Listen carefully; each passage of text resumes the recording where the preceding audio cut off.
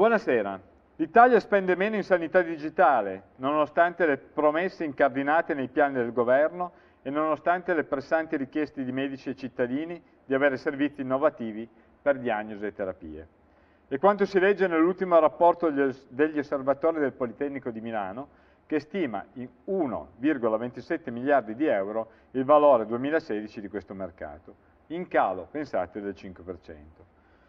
La spesa complessiva dell'Italia per la sanità resta lontano dagli standard dei paesi europei avanzati. A mancare non è l'interesse per il digitale, anzi, le stesse stime dei ricercatori rilevano che cittadini e medici sono sempre più interessati all'uso digitale dei servizi sanitari. Per esempio, il 51% degli italiani ha utilizzato almeno un servizio online in ambito sanitario contro il 49% del 2015.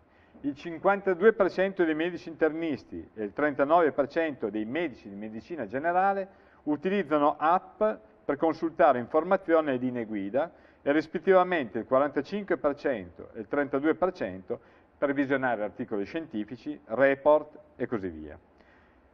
Ad avere un successo deludente sono i servizi digitali voluti dal governo, come il fascicolo sanitario elettronico, che sebbene obbligatorio è adottato, è adottato solo da una manciata di regioni e anche in queste spesso è poco usato da medici e pazienti che lamentano di non essere stati coinvolti nella realizzazione dei servizi istituzionali.